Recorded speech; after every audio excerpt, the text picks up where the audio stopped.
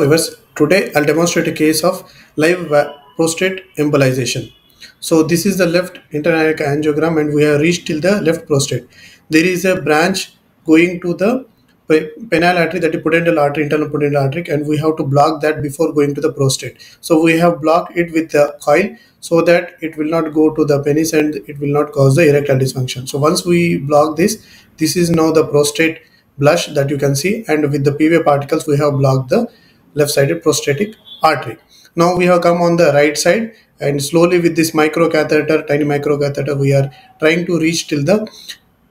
right prostatic artery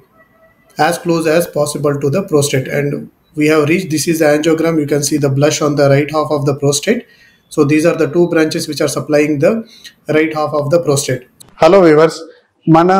city vascular సెంటర్లో మన subscriber అయి ఉండి అఫోర్డ్ చేయని పేషెంట్కు మనం ఎవ్రీ మంత్ ఒక ఫ్రీ సర్జరీ చేస్తున్నాము. సో మీరు చేయాల్సింది ఏంటంటే మీరు సబ్స్క్రైబ్ ఉన్న స్క్రీన్ షాట్ని కింద ఇచ్చిన వాట్సాప్ నంబర్కి షేర్